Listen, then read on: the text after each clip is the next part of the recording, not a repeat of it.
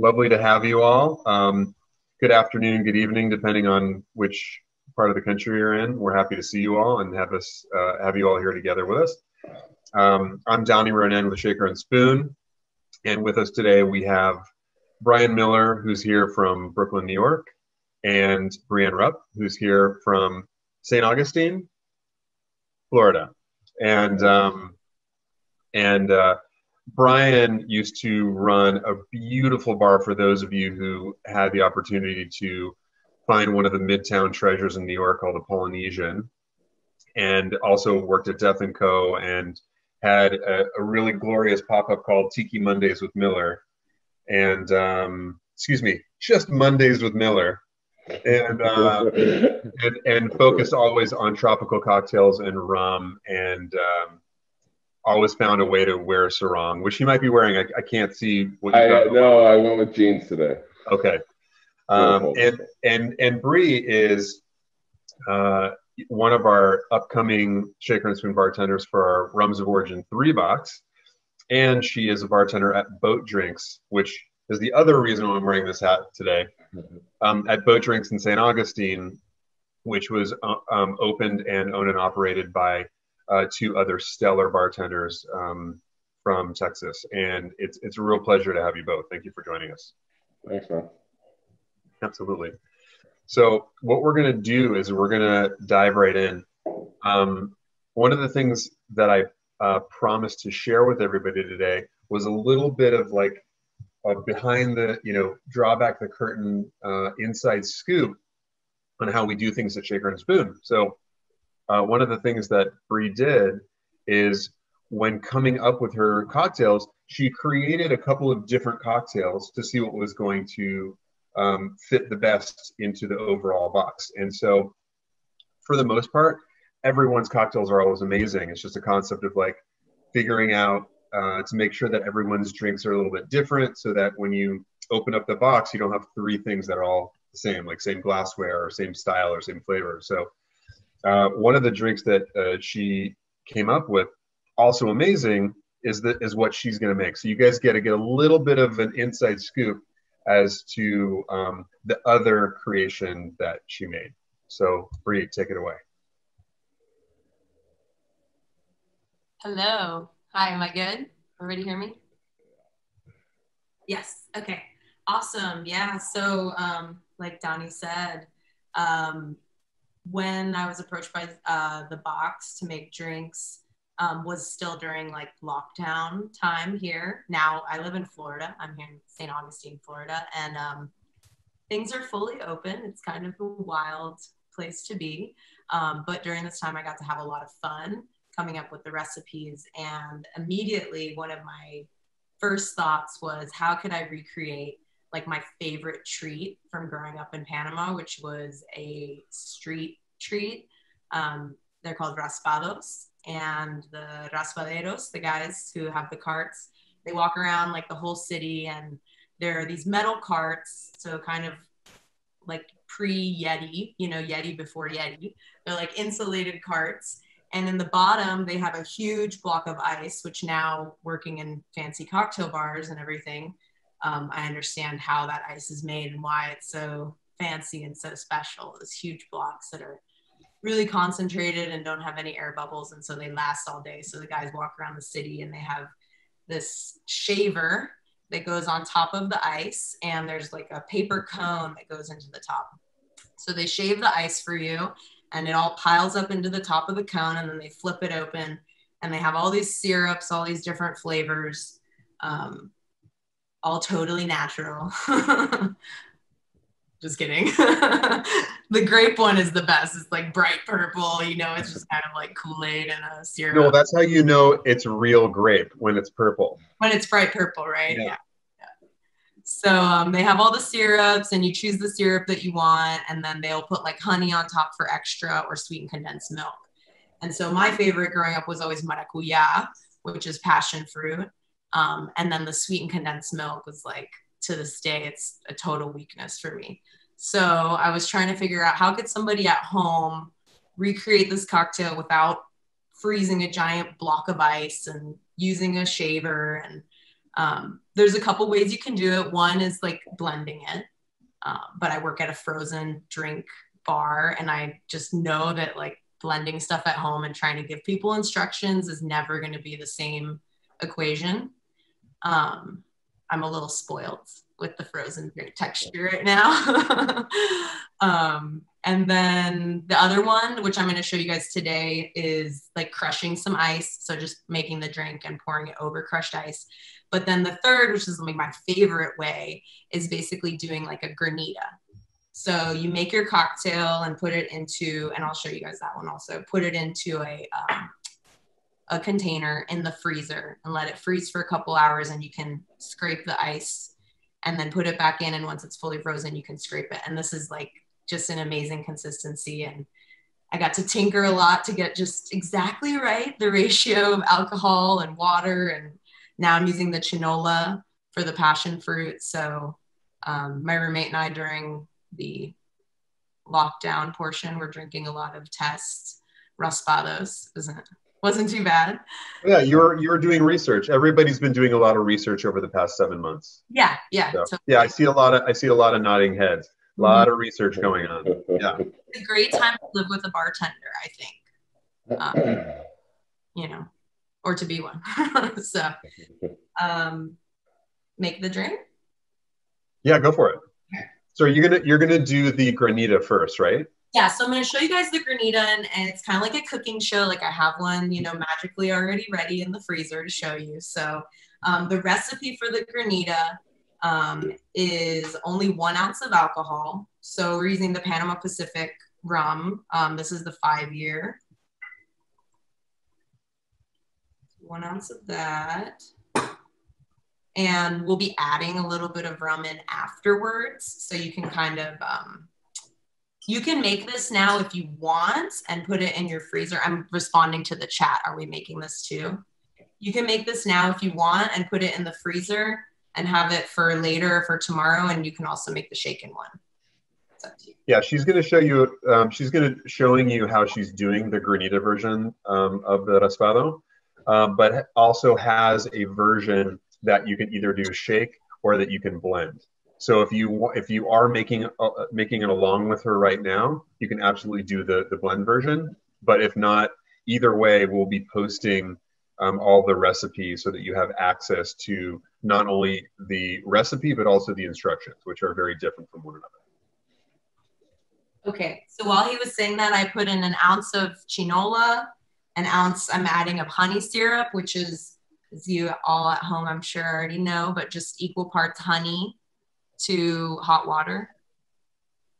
The quantity one ounce of rum, one ounce of the chinola, which is a passion fruit liqueur, the maracuya. I made a honey syrup and I did one ounce of that. And then lime juice. I'm only going to put a quarter ounce in there. I'm going to post it also in into the chat so everybody can see the whole thing. And uh, this is again, this is the Granita version. I'm going to change it so I can see everybody and not just. It'll be nicer. Okay, yeah, that's so much. Hello, everybody. Look, look, there's people. wow, okay, there's real people out there. Okay, so I put in a quarter of lime. Um, I love salt and everything, especially. Um, I'm going to add sweetened condensed milk on top and make it a little sweeter. So I just put a little crack of salt and then water because I want to make this to a consistency that will still semi freeze. Um, if it was all just alcohol, it might never freeze in the fridge. So I'm getting it just right with three and a half ounces of water. And she was saying before how, you know, they were, again, they were doing a lot of research and development at home. But for these kinds of cocktails where you're really trying to, or these kinds of drinks in general, where you're trying to get a perfect consistency, um, it's it's important that you play around because you know between throwing in um, chinola, which is the passion fruit liqueur, instead of passion fruit syrup, um, it's going to change a little bit the way it freezes, and obviously you're going to have to tweak how much water you put in it. And this is also something that she's freezing overnight, so there's a lot of different layers that uh, a lot of different things that come into play when trying to get the right consistency for granita. Yes.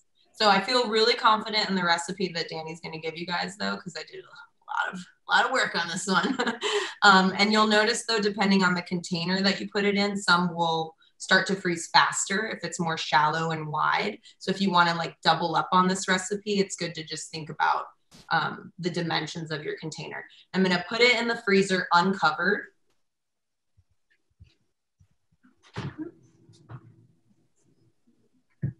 And then magically pull out a finished one. Yes. And on the cooking show, here we go.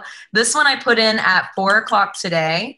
And like two hours later, no, three o'clock, three o'clock today. Two hours later, I just scraped it because it was freezing a little bit on the top, and then I put it back in.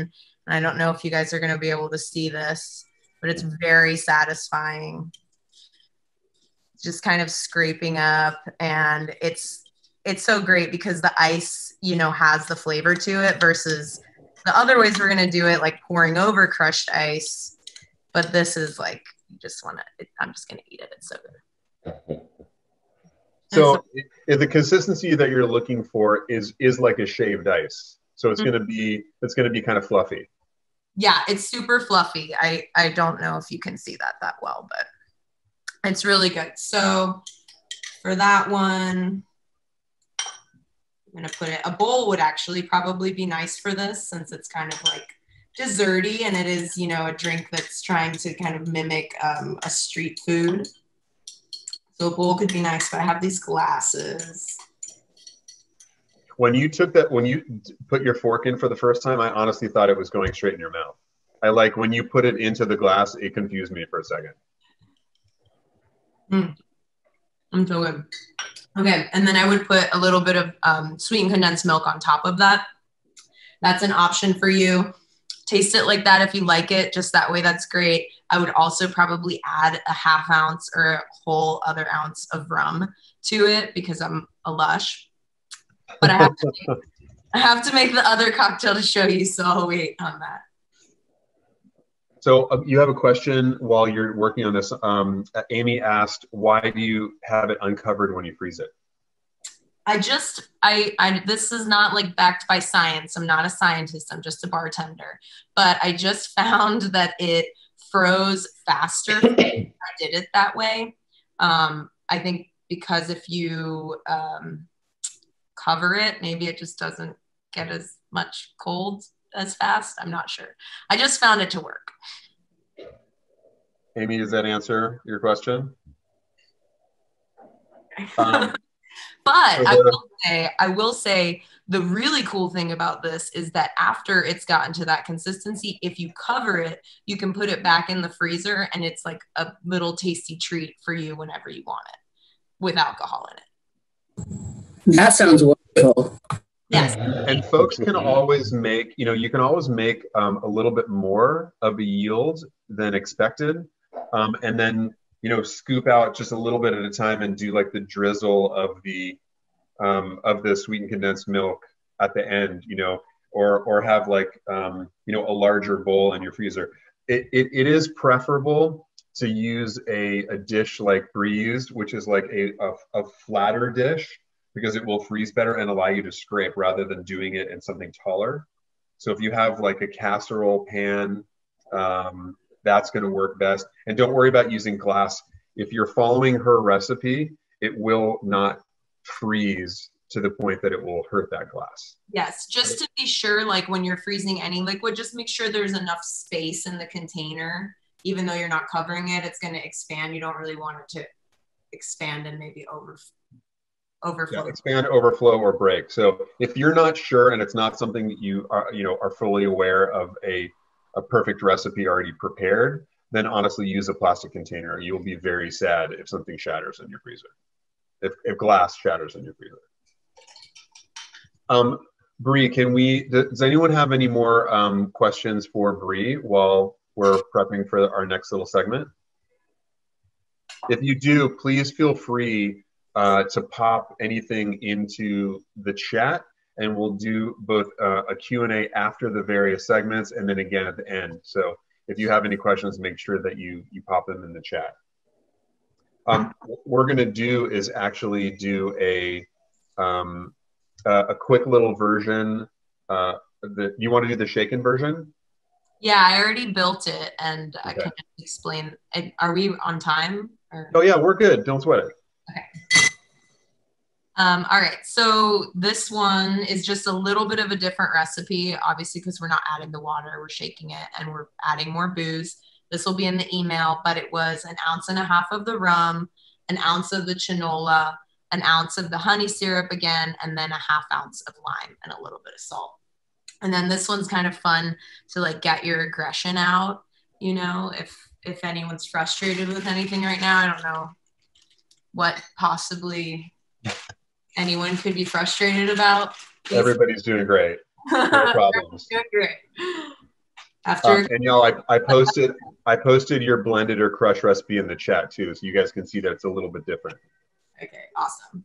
So I just have um, a bag of ice in a in a Ziploc bag, and I'm putting it in between two dish towels, and um, it's on a sturdy enough surface that's not going to be damaged. And I'm just going to use my juice squeezer, but you can use a mallet or a rolling pin or you know whatever. And just literally crush it. I might mute for this.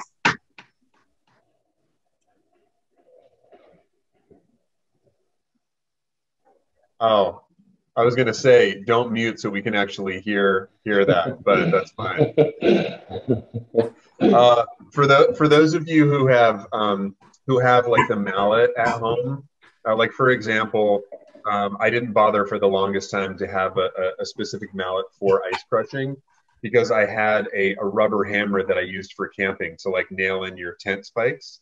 And so I was like, why would I go? But if you get that, like the one that's um, in the Make More store, it you can use the flat edge on the side as well. It honestly looks like Thor's hammer, but so it's like this. It looks like an a, a battle axe, but it has this beautiful flat edge where you can get almost all of it all at the same time. It's pretty great.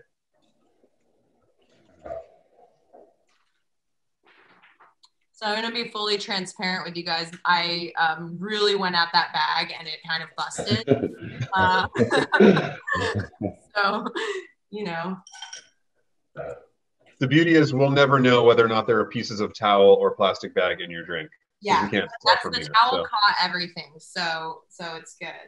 So I'm gonna actually use some of the crushed ice too to shake my drink with, since I have it right here. And um, Now, um, Brian, considering the fact that you had such like an extensive ice program at, at a lot of the places where you worked, is there a reason when you make the choice between shaking on cubed versus crushed? Uh, well, whenever I do anything on crushed ice, I always shake it with a couple of ice cubes, just because you, it, once you pour hot alcohol on crushed ice, it's going to immediately start to melt. So you want to get it a little bit cold, add a little bit of dilution before you put it on crushed ice. At least that's just me personally. Um, that's the way I grew up. But uh, yeah, it kind of depends. Sometimes, like on the sweetness of the drink, like if it's really sweet, when you first taste it, it's like maybe put it on crushed ice just so it'll have the dilution will probably last a little bit long, or happen quicker um, versus like cubed. Cubed is more for me of like, oh, okay, this drink is like perfect just the way it is after it's been shaken. Whereas crushed ice is like, okay, it needs a little help while someone's drinking it. Um, were there any things where you would do a combo of crushed and cubed for shaking? We had we had a, a cocktail at our bar, we the Hotel Nacional. We would do on a combination, just fluff it up a little bit.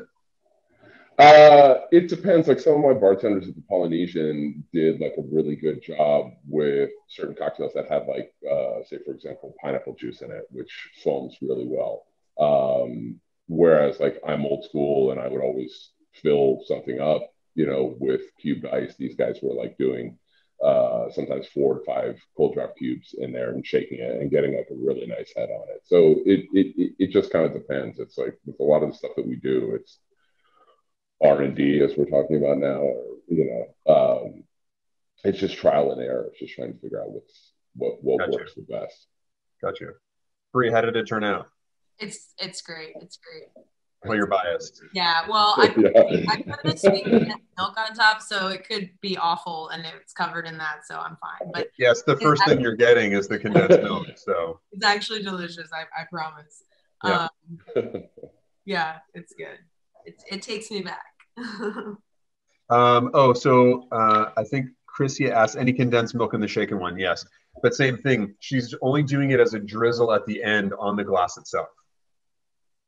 Yeah, just on top. And then I also just wanted to explain the name because um, I just I, this is really funny to me. Um, Mopri is a slang term in Panama. It's sort of how you like would greet a friend on the street. You know, maybe not your grandma or grandpa or uh, you know someone that you respect as your elder, but your comrade. And um, I never I never really thought much about it as a kid growing up, but the slang saying would be que sopa mopri. And finally somebody explained it to me as an adult that it's it's que paso primo, but they've like pig Latin like switched the syllables. And you know, I don't know, I just love it. So maracuya mopri was what I decided to call it, just so I could tell you guys about the pig Latin slang in Panama. That's awesome. I did not know that. That's great. Um, and for those of you who, who don't know, maracuya is just passion fruit. So, oh, and the chinola that she used, that's this guy, the, oh, it's really funny. There we go. The passion fruit liqueur. Um, chinola is the Dominican word for passion fruit. So, um, you know, and In Mexico, or no, in Mexico it's maracuya, but in Puerto Rico it's parcha. And there's probably other words and other places for it. You, anywhere you travel, you should always find out because it's Yeah. So I mean, in all Spanish-speaking countries, they just have a different a different term for passion fruit, which was kind of fun. Um, thank you for that one. Does anybody have? Oh, there's one other question. Um, if we only have powdered coffee creamer, how would we incorporate that? Um, I mean, they could technically fluff it up, you know, in the drink, but I feel like the layer is half the fun. Hmm. Yeah, So- I'm not sure. And powdered coffee creamer, like, does it have? It has to have some sugar in it already, right? It does. The easiest thing would be just to add some water to that on the side, give it like a, the cream consistency that you want, just like you were doing. Let's say you had powdered milk. You literally could take powdered milk, add some sugar to it, put less water in it than it recommends, so it comes across a little thicker, and then drizzle it over the top. It's going to be the same, the same effect. But also, if you can just a can of condensed milk is like is really inexpensive. I haven't found a brand I don't like yet. That was another good part of the R and D.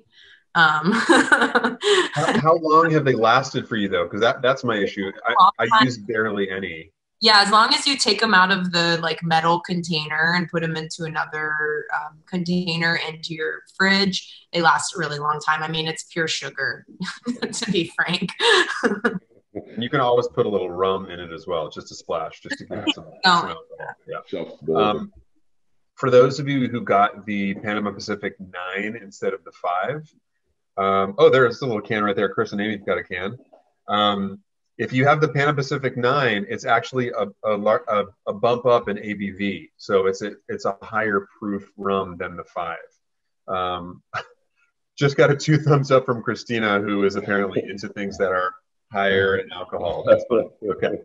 Um, uh, Bree, thank you very much. That was awesome. I I um, can't wait to try this version at home. Uh, for those of you who, you know, once you get your Rums of Origin three box, you'll be able to use some of the other components. Um, if you picked up the chinola, you, you can use uh, some of the components you'll have in the box to to mix up, you know, maybe your fourth cocktail and make this version of it, which is kind of neat. Um, Brian Miller, are you Mhm. ready to you ready to dive in? Yeah, I'm gonna start. The, am I making this thing now? Uh, no, right right now we're just going to talk about rum classification.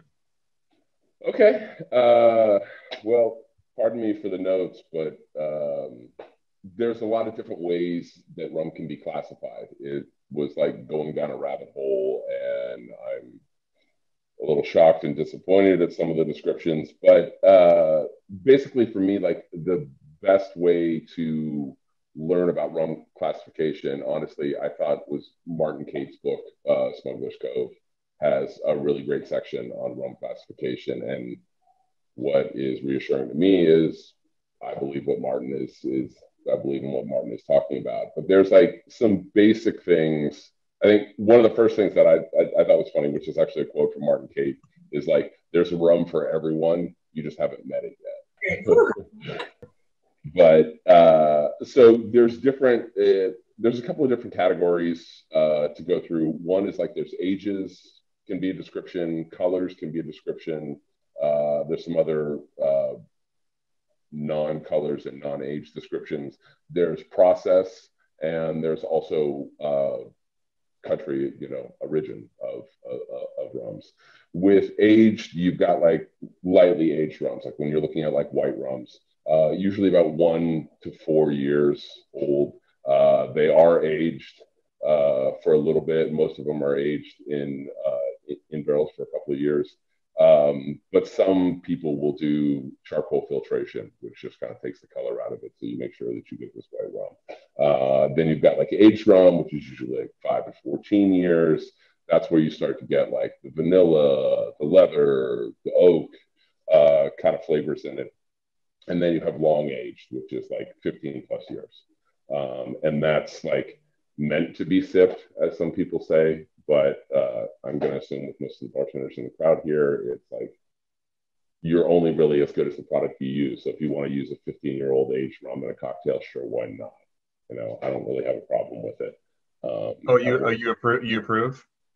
I do. I, I mean, okay. I've grown up. I, have grown up in bars where I've been spoiled, and it's like, oh, cool. What are you using under my mai tai? I'm like, twelve year old rum, fifteen year old rum. Like, I don't, I don't really have a problem with it. It's more of I guess Jurassic Park, where it's like just because you can doesn't mean you should. But I think a bartender, if you can, why not? Um, then you go into your basic descriptions that we're going to see of like colors.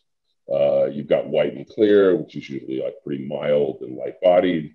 Uh, then you get what they call gold or pale, and that's a little more aged, kind of medium body. That's what you said, the vanilla, the almond, the kind of creaminess that goes on uh, from what I what I read was like dark was like this is just kind of a lie. Like dark is it, it, it can be anything from slightly colored to something that's really dark. So that incorporates, unless it's white rum, almost everything is considered dark. I guess if you look at if you look at the definition. And so that's been one of the tricky things for a lot of people. We've gotten a lot of questions, not just um, on Rums of Origin three, but in general over the years on our uh, various rum boxes uh, we'll see people asking about dark rum and and you know if some if there's a call and a recipe for dark rum they're not usually talk unless it's a very old book they're not usually talking about something that is what we'd consider dark rum now like you know myers or right. or the or the plantation dark or or like um, what's the other one? Coruba, like some of you know, and you'll even see like uh, Appleton Reserve. I think that's the name for it now. Uh, that's considered a dark Jamaican rum, which isn't as dark as like say Myers.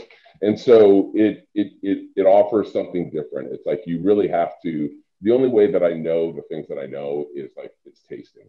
You just got to taste everything, put it in the cocktail, see how it works. Remember how something tastes and flavor wise, and then be like, okay, cool. Like when you're creating a cocktail or trying to figure out what rum to put in the drink, you remember the flavors and the smells and be like, okay, this would be perfect. So the um, takeaway from this happy hour then is research, research, research.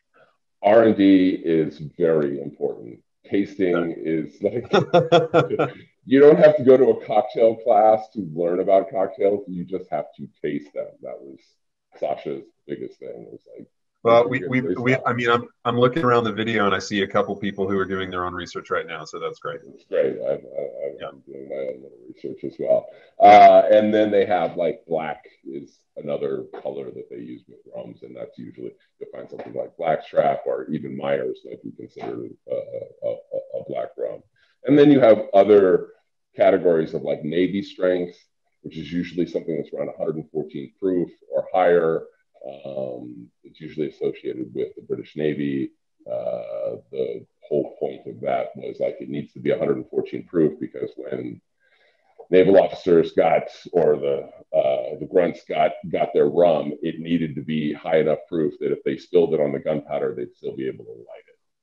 So that's the whole point of 114 proof and higher uh, Navy strength rum. Um, then you have premium aged, which to me, anytime you see the word premium, that's just a marketing term. Like that's just their version of like trying to sell you something more more more expensive. Does, to me, it doesn't really mean anything. Um, but usually those types of rums are like richer and darker in color and with premium. Uh, they'll probably try to tell you, oh, this is a sipping rum or something like that. Um, you move on to vintage, which plantation is really big into.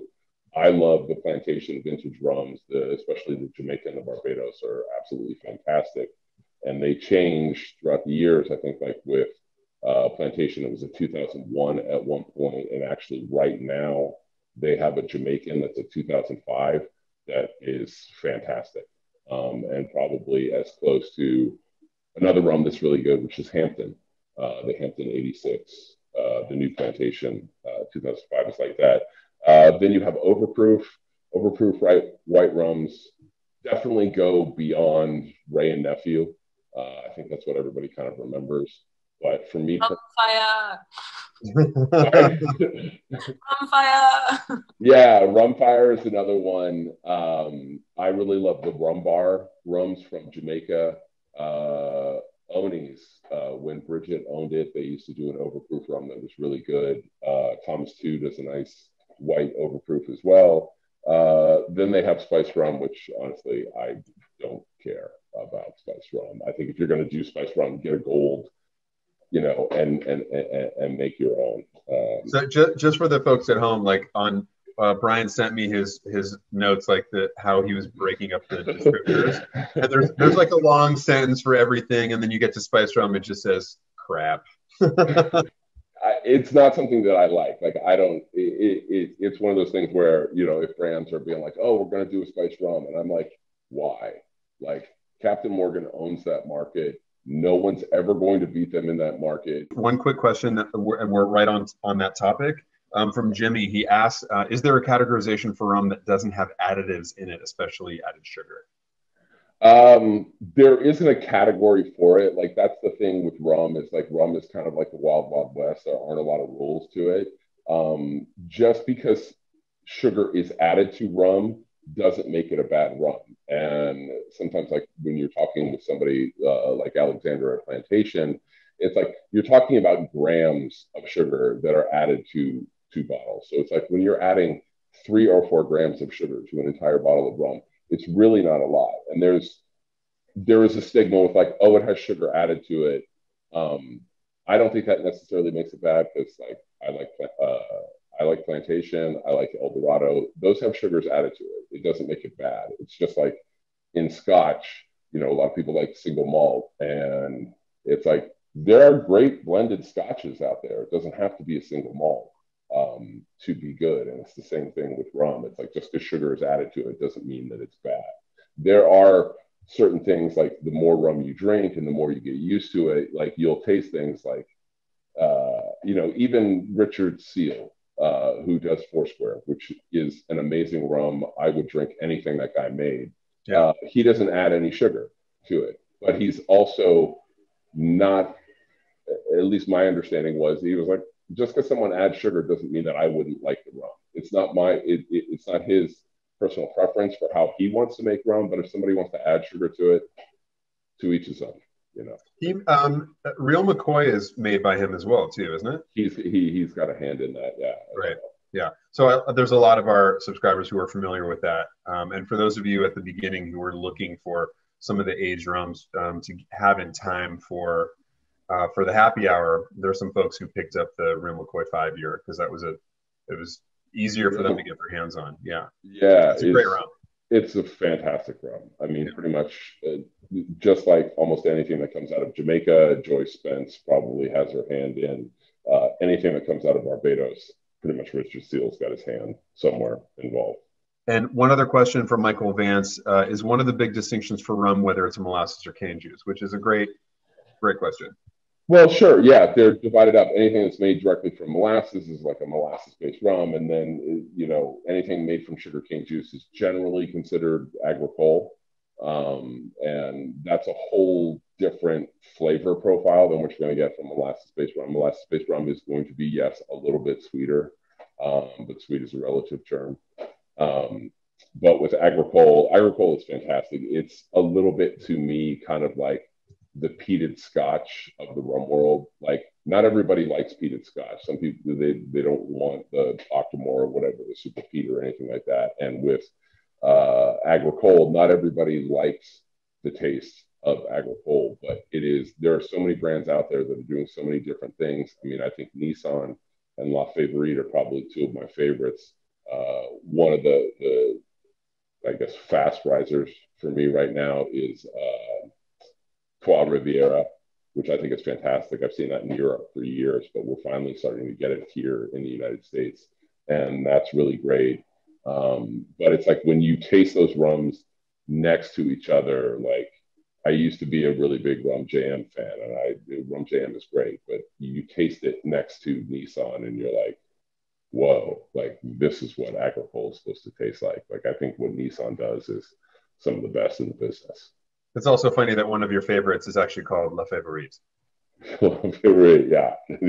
they do amazing stuff. Ed Hamilton, he was the guy that, that, that introduced me to that. So, so two, two quick questions to, to steer us, um, you know, back onto the Rums of Origin 3. So, like, our, you know, our upcoming boxes are our third time doing it where all three of the bartenders, like Bree, who created cocktails for this box, used a rum from their country of origin.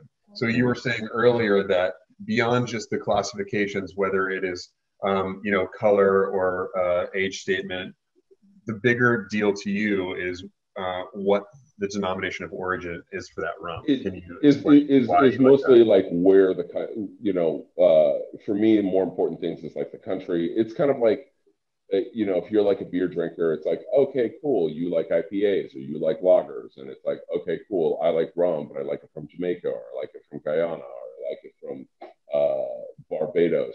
Like that's kind of important. And also the distillation process, you know, whether it's pot still, the column still, or a combination of both.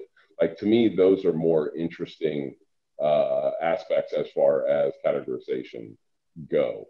Um, whenever I visited a distillery, I'm always kind of like, all right, so what makes your rum your rum? Like, what are you? W- what is a key component?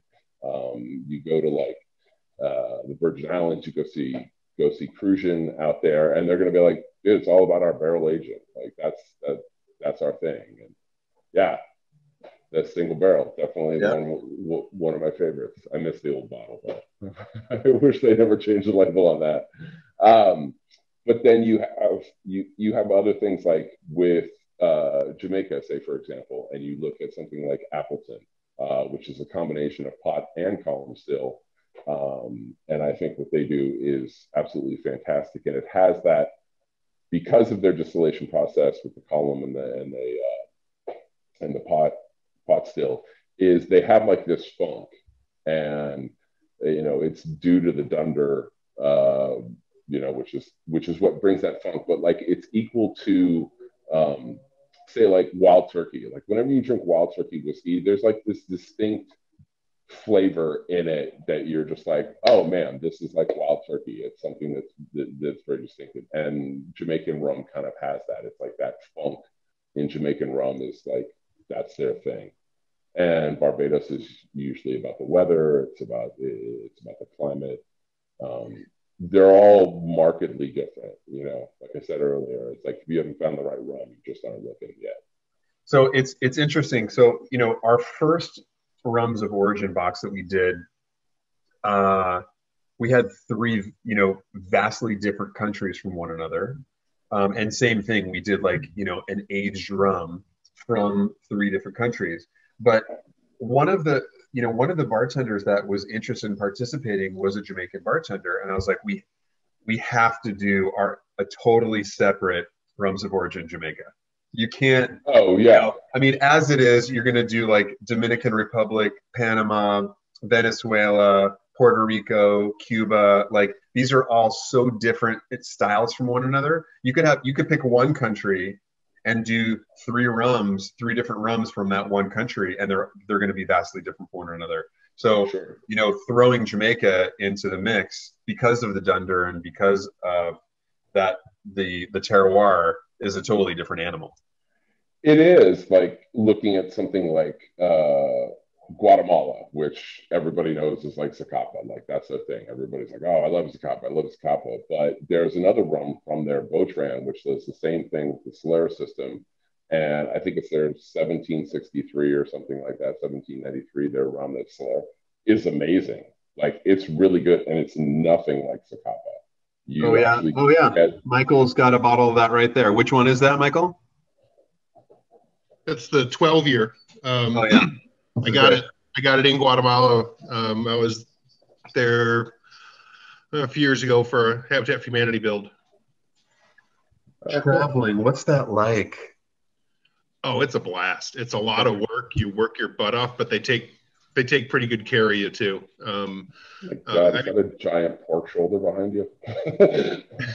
It is. that would be amazing. Nice. Like, wow, some rum and a pork shoulder would be great. it is that is that is yeah that is that was that was one of my smoked smoked uh, pork shoulders from the from this summer. Fantastic. Um, so I want to I want to take the group to our, our next topic, which uh, for those of you who have joined us before for happy hour, um, and Brian, we're gonna for those of you who who uh, asked Brian some questions, we're gonna get back to uh, Q and A in a little bit, but please feel free to uh, add a couple things um, if you'd like into the chat. We will we'll get to that.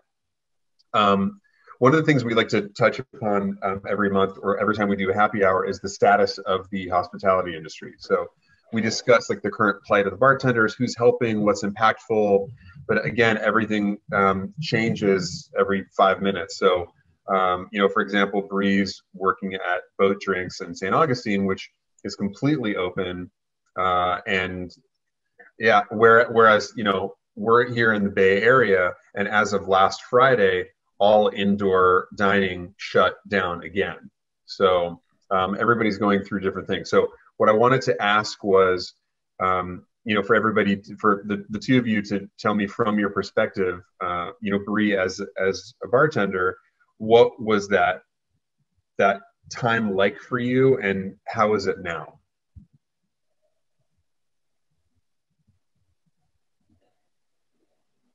That the time of like being unemployed, you mean? Yes. And kind of Yes. The Because when you said earlier, you're like nothing like being in, you know, nothing like being in quarantine with a bartender, or you know, it's pretty great to be a bartender during quarantine.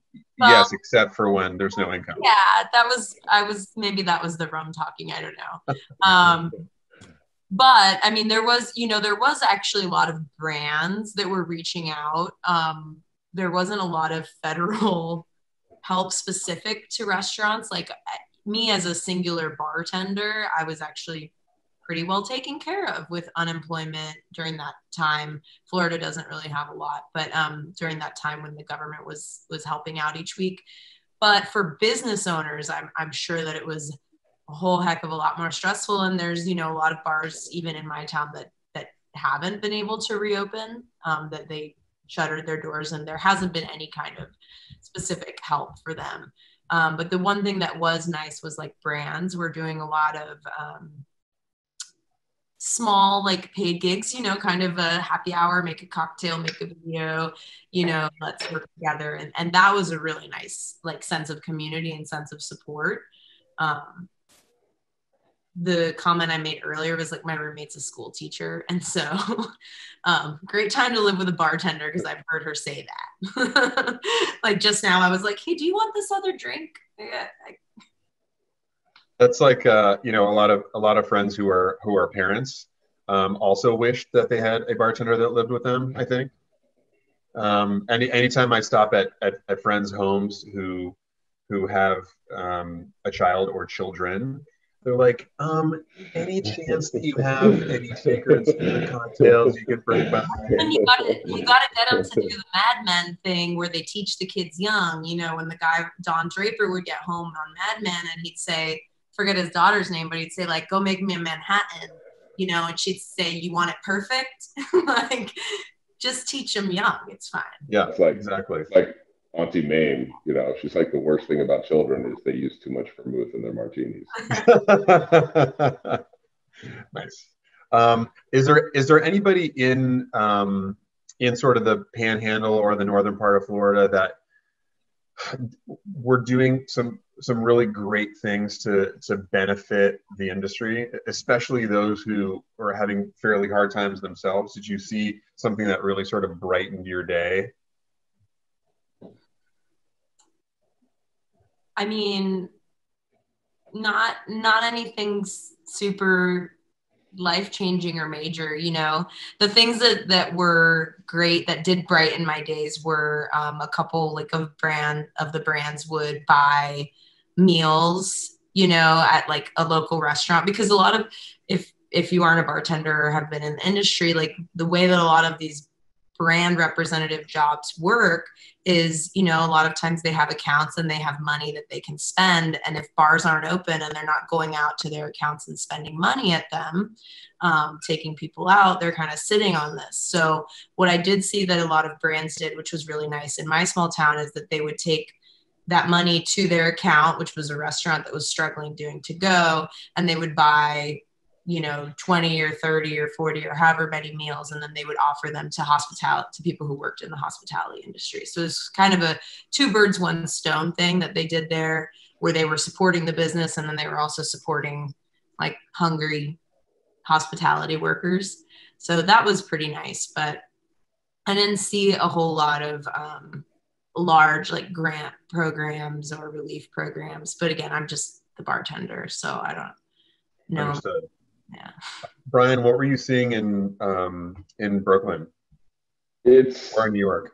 it, it's pretty bleak to be honest. Um, it's it, it it's really hard. Like I've tried to, you know, as I've discussed with you before about making the transition and like maybe doing some uh, some brand work, but I don't think brands here know exactly what to do uh, because it's not like it's not like Florida where uh, or certain parts of the country where it's like things are more open. Uh, you know, we just closed the schools yesterday. Uh, so, and everybody that I know that's working in a bar right now is talking like it's going to close again. There's going to be another uh, another shutdown. Um, but it's one of those things you can't like get too depressed over because it's like everybody's going through a hard time. Like, there's not one person that's like, oh, you're more deserving than anyone else. Like, there's you know certainly people with families and stuff like that that are finding it really hard to support. And I just think for brands to start, like, I've been talking to brands and they're just, I don't know, like, what do you think we should do? And it's like, I owned a bar. When I did a job interview, I didn't call somebody in and go, What job do you think you're good for? Like, I, I, I knew exactly what I wanted someone to do, and I'm not getting that uh, type of response from brands. And uh, you know, it, it, it's hard. It's hard on the industry, especially you know someone like myself and and and, and my uh, age group of people were of a certain age that like you know bars aren't looking to hire like older bartenders. You know, one it's just a risk. You know, you don't. If you're a bar owner, it's like do you really want to risk putting your staff out there? Um, you know, because contrary to popular belief, young people can get sick. Like everybody's getting sick. This is it's a disease that's uh, you know affects everybody. Doesn't matter what your age is. And yeah, I mean you're you're super close to Long Island Bar, where you know Toby was one of the first people to be affected by it, and um, I think we talked about this actually a few months ago at Happy Hour. But if you guys look up, there's an article um, by Toby Cecchini, oh, New York him Times. and his wife, yeah. really I mean- incredible um, about you know what he went through as both a bartender and a bar owner um, living in New York, and it was very early on, um, and Mhm. also had like some asthma and things like that. But there's also guys like him who um, are doing like every single thing they can to help everybody else. It's a very much like a rising tide raises all ships thing. Uh, for those of you who are in the Shaker and Spoon um, private Facebook group, um, I, uh, Souther has posted a couple of things, uh, companies that bartenders either have started or own on the side where they're you know making hot sauce or like that puzzle that he did or um, have created recipe books or doing like virtual happy hours and things like that. Take a look for those kinds of things. Anything that you can do especially if you're already enjoying shaker and spoon cocktails at home um, if you're, we're not able to go to a bar nearby find out what that what your local is doing because they might have a to go program or something to help support their team. There's all kinds of cool stuff that's going on that will, um, you know, help the the booze continue to flow, if you will. But um, thank you guys. That's that's awesome. Um, I'm gonna we're gonna dive into Brian uh, creating the abstract distraction, which is a pretty great segue, I think. Yeah, it's I well, the cocktail was already created. I'm kind of doing like a riff on it, if I'm correct. Yes. Uh, so it's this is actually a great thing for people that are trying to learn about cocktails. Is what I've done here is essentially it's the Mr. Potato Head theory.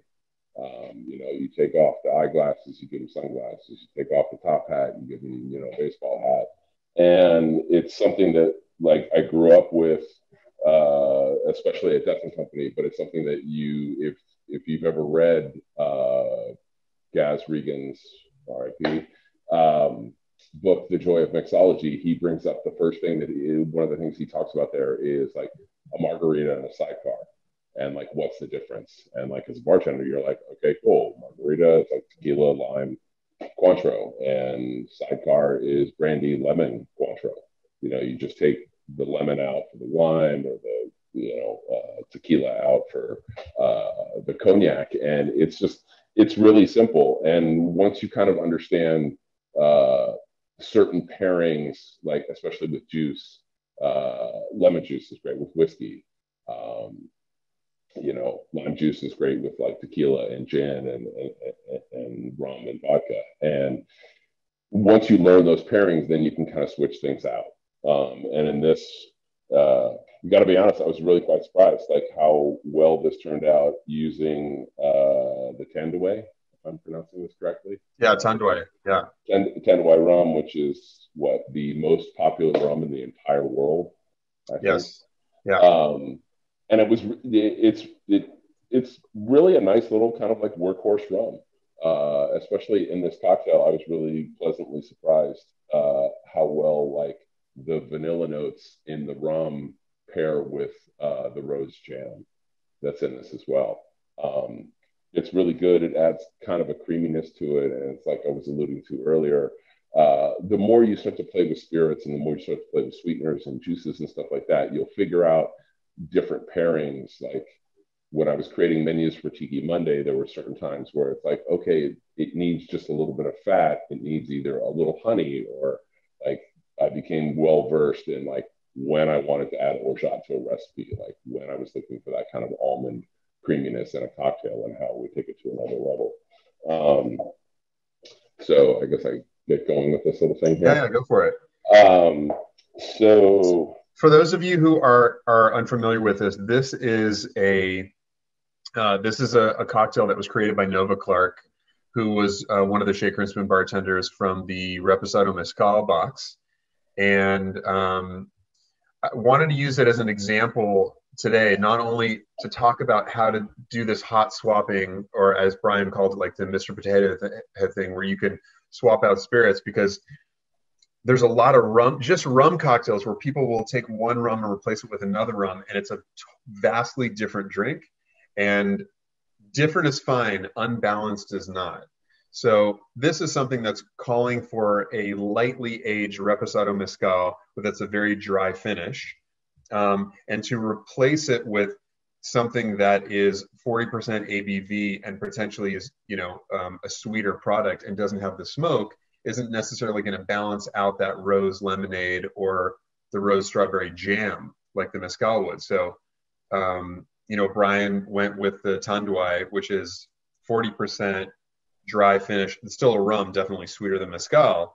But as he said, he was like, I was, you know, ha- uh, pleasantly surprised that it balanced out nicely. Yeah, because I didn't have the mezcal to know what it originally tastes like. so uh, going with um, the rum, it was just it, it was really interesting. And so with this cocktail, uh, you have the rose rose strawberry uh, jam. Just put a little spoonful of that in there, and then your cute little lemon bitters bottle. Um, it calls for essentially two dashes, which, in case you don't know, and I've done extensive practice with this, 12 drops.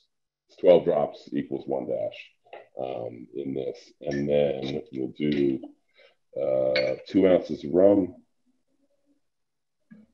Throw this in there. Uh, I believe Miss Clark was like, "Oh, you can stir it up." I'm like, "Let's just make it a little bit easier and just dry shake it." And you just give it a little whip to mix up the jam and everything in it. And then, sorry, let's grab some ice.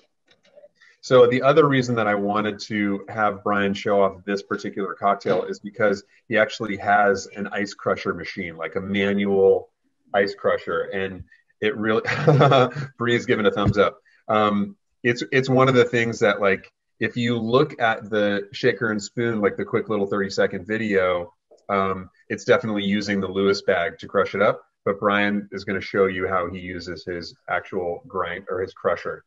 Well, sometimes the difference, like what what what Bree was doing, is is is you know, as she's talking like shave ice, um, it's more like snowflake ice, and that's something that like if you don't like what I'm going to do with this drink, um, is just something I just learned at Death and Company. Uh, was anything that I put on crushed ice, and in this machine I get like really chunky uh, kind of crushed ice. You want to cool uh, the alcohol down just a little bit. You're not diluting it a lot. You're just trying to get it cold. So when it does hit the crushed ice, it doesn't immediately melt. Whereas I think with Bree, it's like that shave ice, that's just going to melt immediately as soon as you hit that with alcohol. Like it's it, it's going to go down. And with this, I was lucky enough. This was a gift from uh, Avery Glasser of Bittermens Bitters. Uh, gave this to me for my 40th birthday. Uh, it's just simple. It's a little hard to tell. I'll see if I can kind of point this up there. But you've got like little spikes that just kind of rotate around in here. I did some beforehand, but you just throw the ice in there, close the lid down, grind it up. Took me a while to figure this out when I first got it, but it just pops off the bottom here and creates really good crushed ice. So what I'm going to do here, just to start off, I always anything I put on crushed ice, I just do three ice cubes just to get it a little bit cold. Just like a quick little shake, you'll start to feel uh, the shaker get cold in your hands. You know, okay, cool. Grab the glass, crushed ice. Uh, yeah, kind of see it. It's chunky, um, which is better so the uh, so things don't uh, melt so quickly. It's one of the the jokes I used to tell people when like ice was becoming super popular, and it's like, oh, we have all these different kinds of ice, and I was like, no, you don't. There's one kind of ice, and it's the frozen kind. You have different shapes, yes, but there aren't different kinds of ice. There's different shapes of ice. Mm-hmm. Um, Can I so, say something real quick? Yeah. Um, for anyone who lives near a Sonic, if oh, you yes. had the Sonic, the that like crushed pebble ice, they sell it in bags there. So if you're having a party and you want to have the chewy ice, those little pebbles, it's like two dollars and fifty cents. I'm assuming Sonic's everywhere the same, but um, yeah, you can just buy bags of it, and it's the best ice. You just got a massive amount of thumbs up from people. Sonic. Yeah, it's it's That's- so fun, and honestly, if you have like a a garage freezer or like a you know somewhere where you have extra space, it's worth just going to get a couple bags and and throwing them in there. A, it makes your freezer work less um, if you have you know larger chunks of ice or more ice in your freezer but they're really fun to just go and open it up and take a scoop and not even think about it let it spill all over the counter because you because you have it plentifully we just got a new fridge that actually does pebble ice and i'm pretty pumped about it the um the bar that I work at now, that's the only ice that we use is the pebble ice. And so it's also cool if you like have a, a little bit of it. You only need just a couple little pieces and you can whip shake it into your drink and it'll like perfectly dilute it and chill it. We also do keep all our liquor cold to start. So, but it's it's fun to play with to serve your drinks on and also to to shake with and see what that does. Brian, can you show them the ice crusher? Yeah. Uh, yeah. So this is the ice crusher. Closer. Ice Bring it closer. Sorry. There we go. That's the ice crusher. You can kind of see the claws in there. Once you fill it up with ice, you just crank it. Comes out the bottom. So then it's like in the. I didn't put any in there, but it's like uh, an elementary school um, uh, pencil sharpener, like the old. The, yes, yeah, one of those when I first got this, I was like, how do I get the ice out of this thing? like I couldn't figure out how to like open the bottom of it. Um, and I also have uh, really cheap uh, on Amazon. They have a little thing uh, you can find. It's just called Hawaii Shave Ice, and it's just like a little electronic machine. You just drop cubes in it and you push it down, and it just shapes the ice. And I think it was like twenty five bucks or something like that. All of a sudden, we're gonna get we're gonna get a call from Amazon being like what's the deal, Shaker and Spoon? All of a sudden, there's like 300 people who want the stupid Hawaiian shave literally ice. called Hawaiian shave ice. Like it's, it's pretty easy. So uh, this is the cocktail. Uh, I love the little flowers on top. Um, really simple, easy, refreshing. It's one of those things where you can, uh, you know, Mr. Potato Head is a is something that's really easy to uh, practice and use and make different cocktails. You know, it's like I think it all started with like the last word. Then we switched. Phil Ward switched out the lemon juice or the lime juice for lemon, switched out the gin for rye, and then you have the final word. And I think he's beat that drum into the ground where he's done it with tequila and mezcal and uh, scotch and almost any spirit you can switch out and make that combination. On that note, for example, um, hold up the bottle of rum so folks can see it. Just bring it close to the camera. Yeah, sorry. Right. So this is the tanduay. You guys have seen this on on Shaker and Spoon. Now, it it even if you were to like we were talking about before, like we could do, um, you know, rums of origin all uh, Dominican Republic. We did one that was all Jamaica, and you know the products were vastly different for each other. Brian has the tanduay. I have this one, which is the the Don Papa. Yep. Uh, not, by the way, not to be confused with Papas Pilar. So um, just make sure that you keep those distinct. But Don Papa is actually a rum from the Philippines. Uh, but if, if I were to swap in this some a drink that Brian or anyone created with Tanduay Gold, and I swapped in the Don Papa, um, which is like a you know they call it Don Papa small batch, it'd be very different. It's it's much more rich. There's more more of that vanilla. Um, it's a very different, much more rounded profile as opposed to, as Brian uh, called Tanduay Gold, a workhorse. It's going to work for sipping by itself. It's going to work great in drinks, um, but it's definitely a little bit drier and a little more of an of an oomph, right? So even things that have the same denomination denomination of origin, you can't just swap them out and expect the exact same thing. It's still going to be a great drink, but it would definitely end up being a little bit sweeter if I were to use the the Don Papa instead of the Tanduay Gold for this particular yeah. You were to make a drink with Zacapa and then try it with the, the Botran, it's going to be a definitely a different drink, you know, gotcha. just based on how they make it. You know? One one quick question from you, Michael Vance wanted to know the brand of the ice crusher that you showed off. Shit, uh, it's a vintage thing called uh, Ice-O-Mat. um, yeah, you can go to vintage stores. I've seen these around and stuff like that. It's like it's just the little the, the little hand crusher. Um, really easy. Uh, for an old man like me, I don't want to beat a bunch of ice. This is a little bit easier just to like grind it, grind it out. Um, one of the other questions from earlier was, since there are no rules for rum, what is the age statement protocol? Which is one of the few actual rules, but Go ahead. It is, uh, from what I understand, the age statement protocol is when you see it on a bottle, that is the youngest rum that's in that's in that bottle. So, like in an El Dorado 15, the youngest rum in there is a 15 year old rum, and there could be, you know, there's there's probably some 21 in there. There may be a little bit of those 25.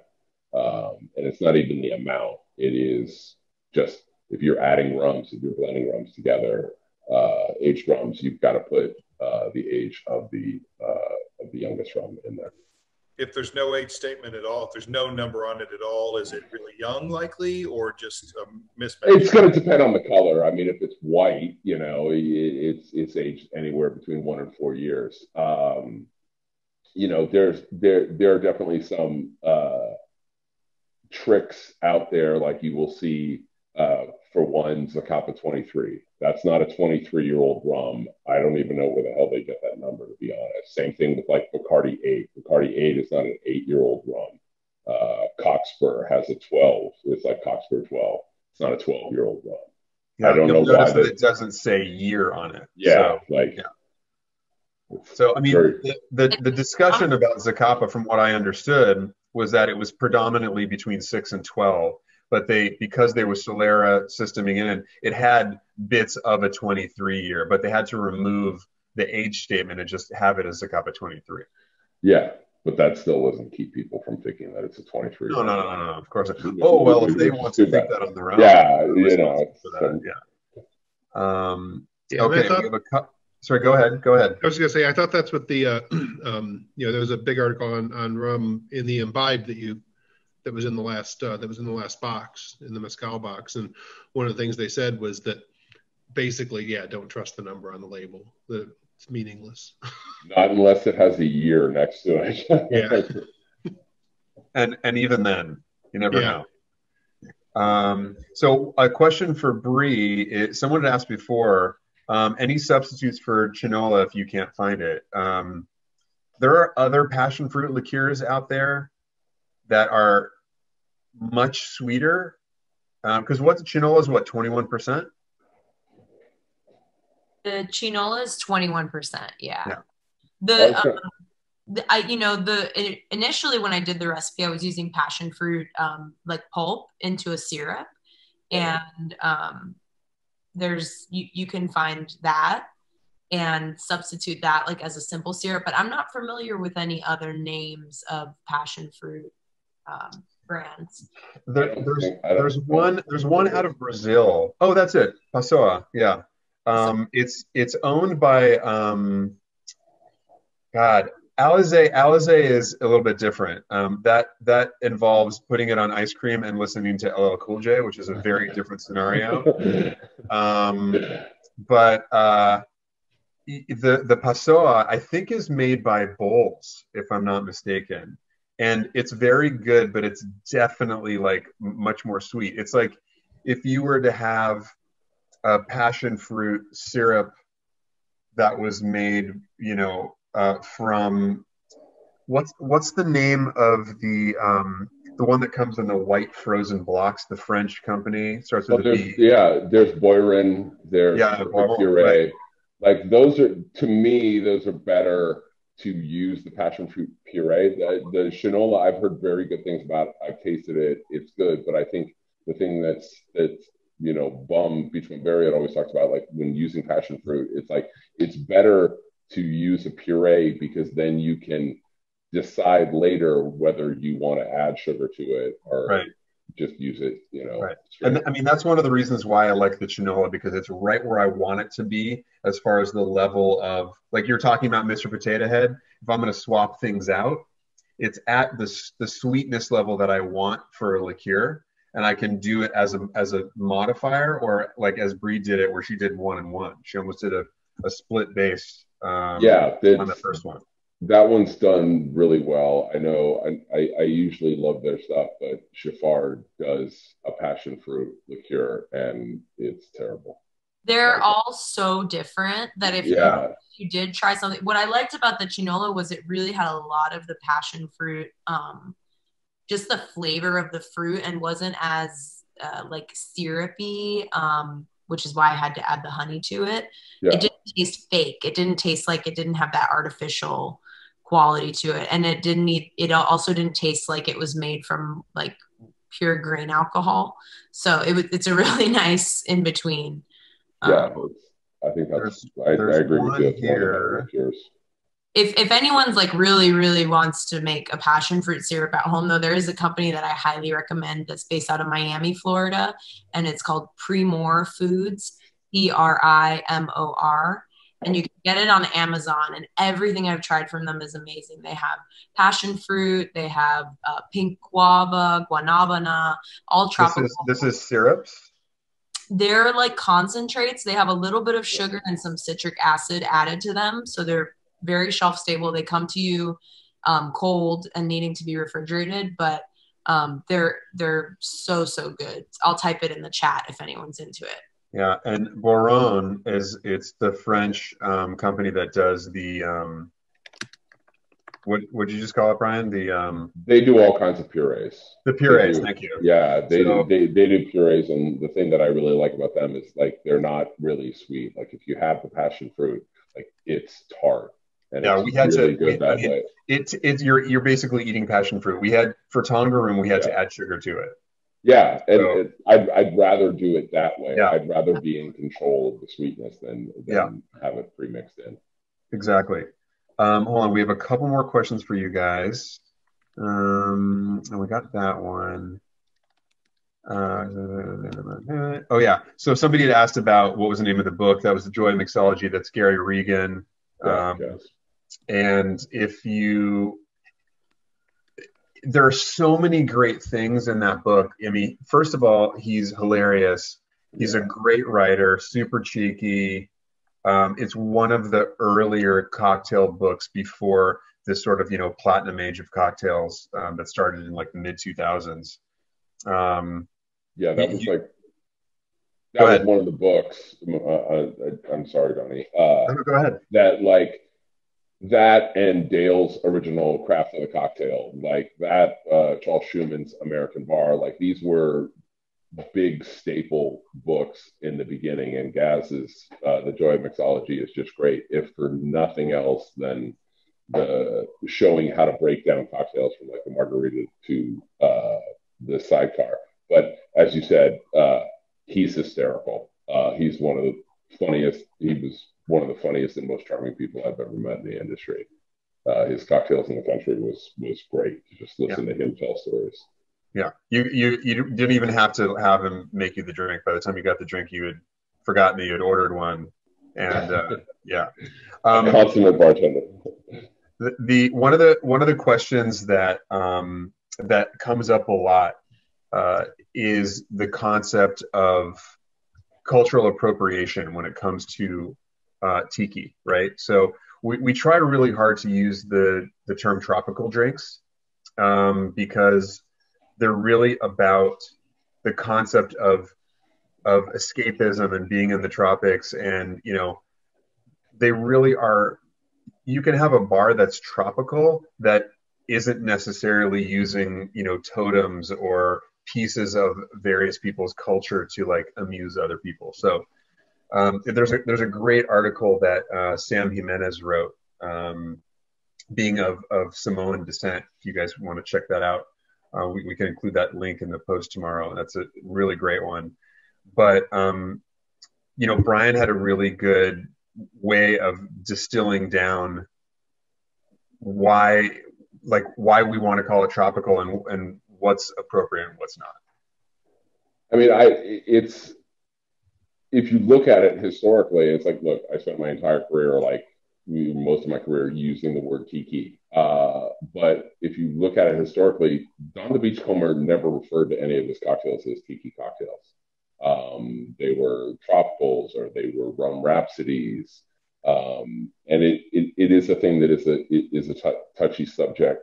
Um, I've been interviewed about it. I've been berated on the street about it. Um, and it's one of the things that I tried to do with the Polynesian was shine a light on a culture. Um, I didn't have goofy, uh, you know, the obviously sometimes inappropriate glasses that like look like an Asian person, you know, with a giant mustache, and it, you know, and and being able to respect people where it's like we this is kind of a movement that does involve uh, gods for the Polynesian culture. And so to uh, turn them into caricatures and cartoons I know is disrespectful. But like at the Polynesian, what I tried to do ultimately was I, I I wanted to inspire people to understand that like every time I was creating a design at the bar, you know, or or, or, or using an element at the bar that involved the culture, I wanted people to get inspired and like want to understand it more.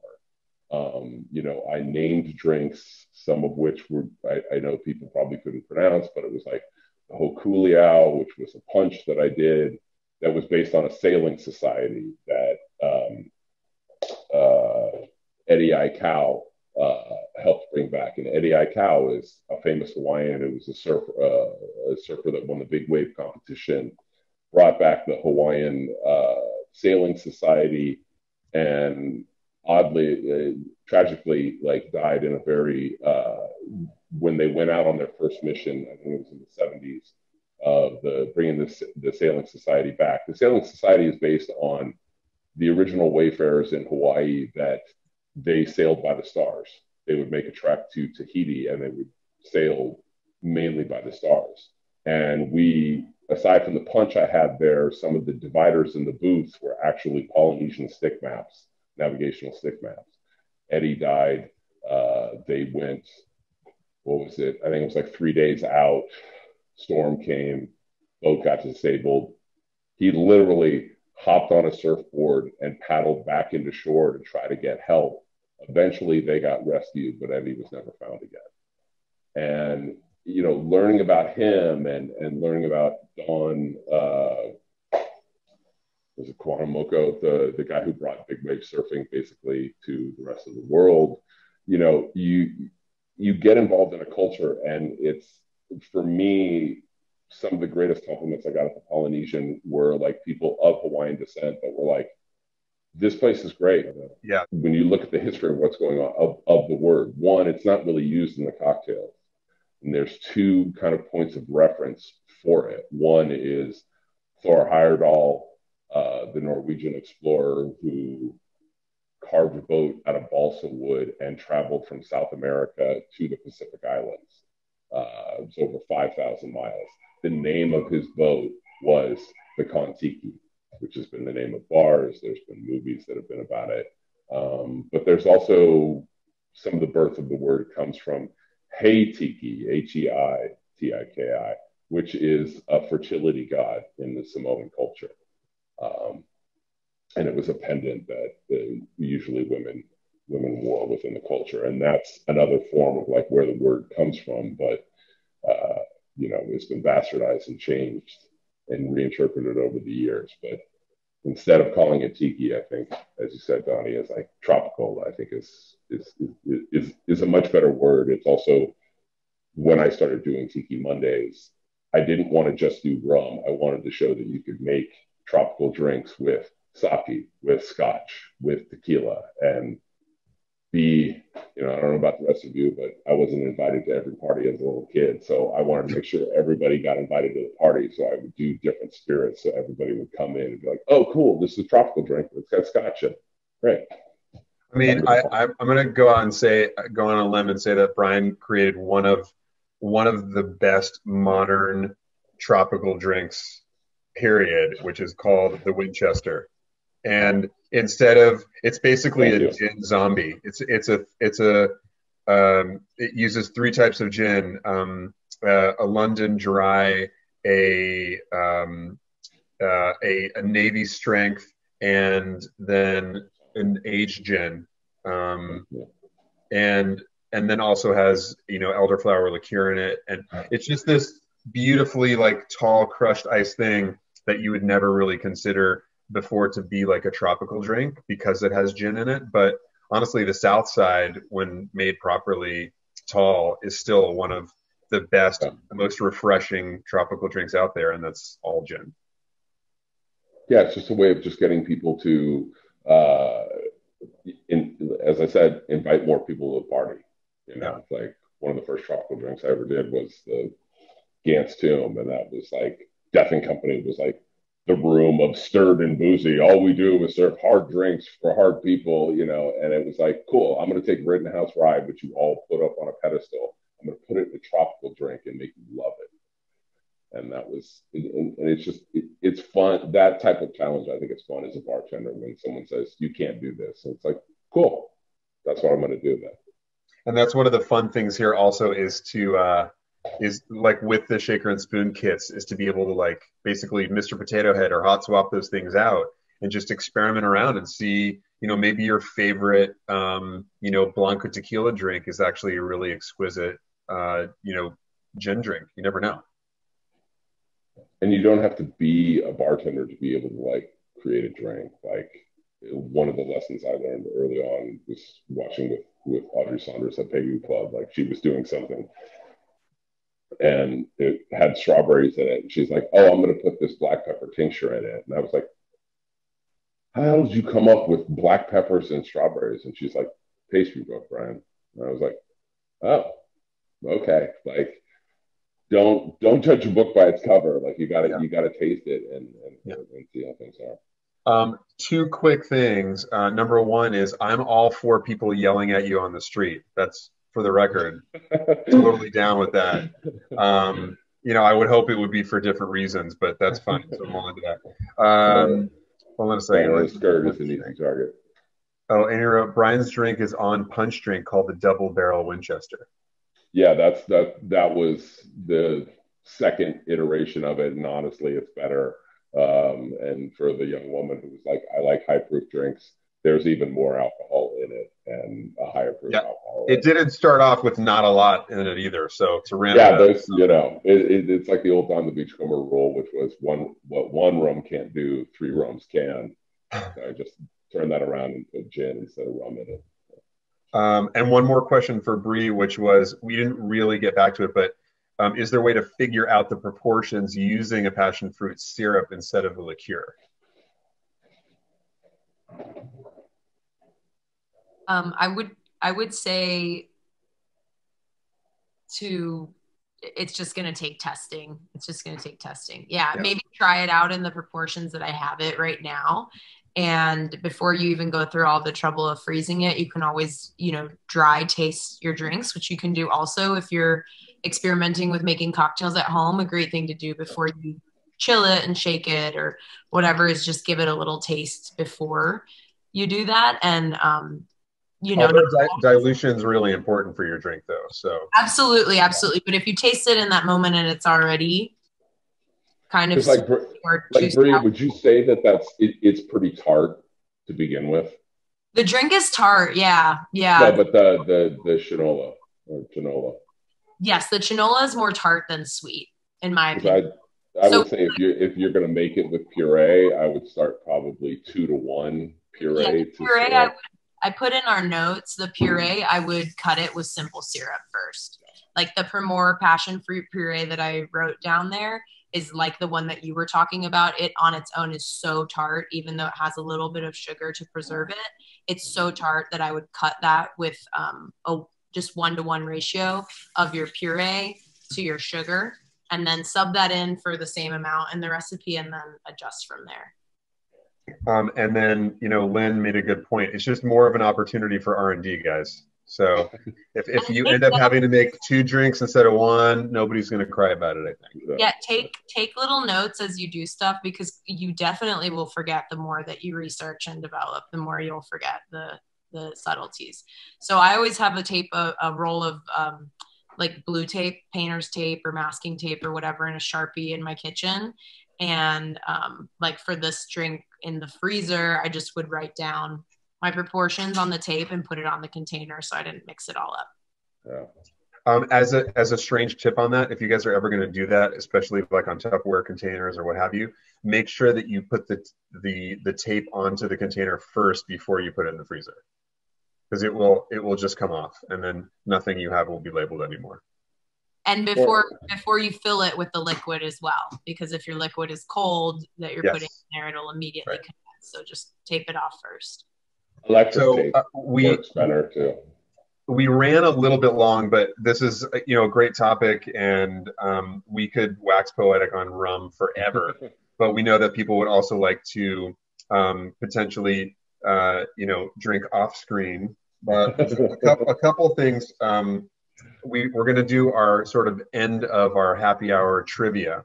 So the way this works for those of you who have not participated before, if you know the answer, you have to put it into the chat to everyone, not to Shaker and Spoon, but to the everyone, and make sure it goes through. And the first one, the first correct answer that comes through um, will actually be the winner. So the two things we're doing today, we're going to do uh, two prizes. One of them is going to be um, a um, a bottle of the Chinola um, and rum to go along with it, and then an extra little something down the road that you're going to have to maybe wait for until you know Bree's cocktail is made into an individual kit. So you'll have to wait for that part. So you have to make sure that you save enough of the rum and the Chinola for later.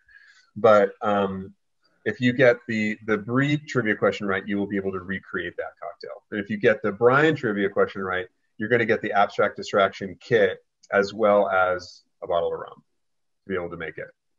So uh, the first question, the Bree question, is going to be, please tell me what the name of the cocktail she made means. Do they have to answer it in pig Latin?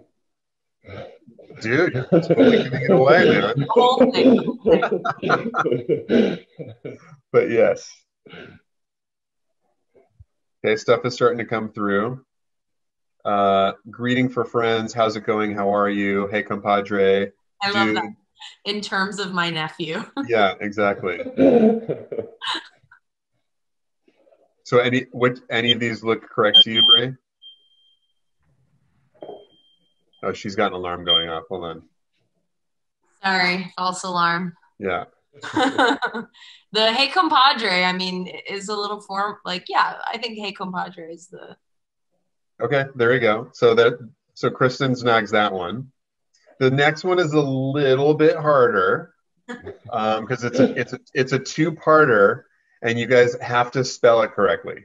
oh Okay. oh wow. Okay. Yeah, That's All what, right. that's what Yeah. For. exactly, exactly. So, until everyone's had It's a it's a two-parter. All right.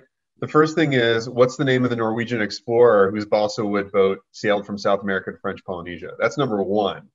And the number, the second part is, what is the name of the god of fertility in the Maori culture?